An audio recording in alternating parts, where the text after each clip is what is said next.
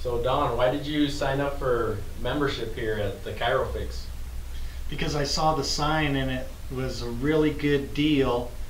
Um, you can't beat the price per visit, or if you join up, it, you just can't beat it. It's a great price, and I need regular maintenance, so all right, it's a good place.